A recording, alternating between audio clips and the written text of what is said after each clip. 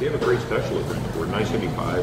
Uh, special burger, so it's quarter pound burger, fries, ring, or rings in a pot. Nine seventy five. Not bad price, right? No, not at all.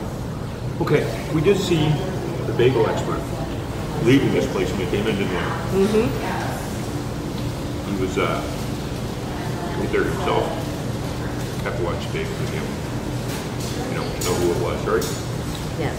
Okay, we'll tell you it's Rod. Rod. Okay, so what do we want to try first? Fries? Put a little salt on them. So small fry. Uh, I'll put up a picture while I'm putting salt and stuff on. But they definitely are uh, fresh cut fry. They are.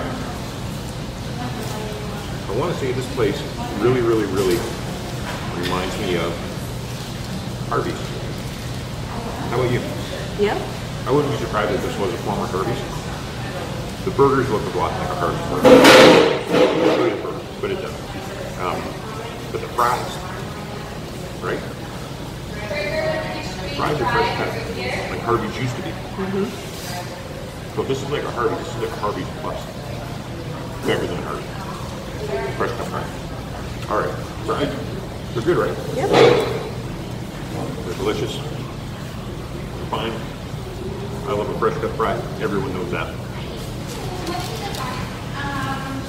Okay, before okay. see this, it is charbroiled, right? Um, before I take a bite, I want you to feel this bun. Oh, it is so soft. It's pillow soft. Harley's, the buns here are off the hook, and they are, right? We have bacon cheese, caramelized onions on this as well. Uh, pickles, mustard, ketchup, Relish? mayonnaise, no relish. No relish. Burger. Relish doesn't want a burger. Okay. Goes on a hot dog. It's a rule. I just follow. I don't make it.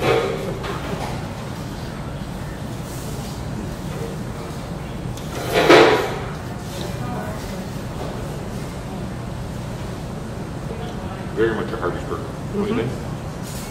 think? Mm-hmm. They're not a fresh made burger. They're definitely a frozen burger. Yeah. Like Harvey's. But they're a flavorful burger. They are delicious. definitely flavorful. Um, I was told by Rodney this was his favorite burger place in Camp Well. Up until he saw the Elgin Backyard Burger. Now it's his second favorite. Way to go, Elgin. Sorry, Harry. We, we won't tell you, Frank. We won't chase me again. I got to take another bite of this. It was pretty good. No, that's not crazy expensive, that burger. Nope. Let's just, you know, five bucks. Worth something, isn't it? Oh, this is six ninety-six. Oh, because we put all the energy on it. Mm-hmm. Seven bucks when you put cheese and caramelized onions and bacon on it. It's in the Trainer shake, chocolate Oh my shake. god, a thick shake. Now they're small, but it's not it's not expensive. That's a cheap shake. That's a couple bucks. Yeah. That's a cheap shake.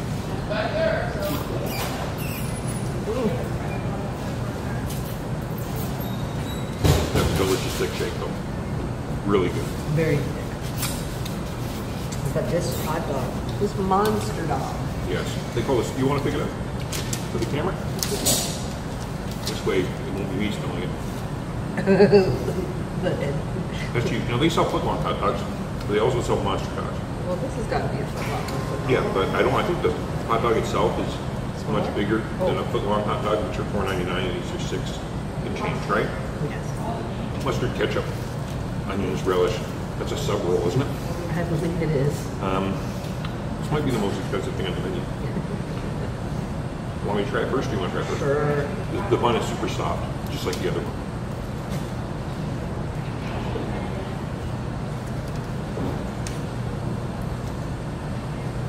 Huge. It's really good.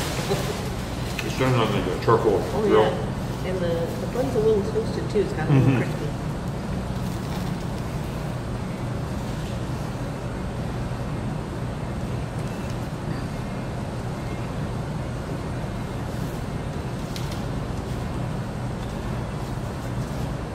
Crispy. Now, this is a place that's stuck in the 70s, I think, with the food, the atmosphere.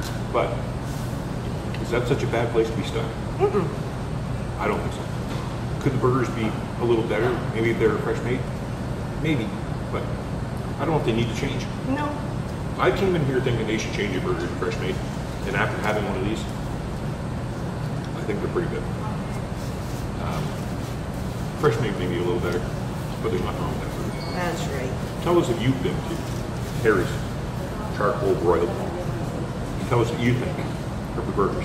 If you've had this monster dog. Uh, if not, you haven't been here, just comment anyways.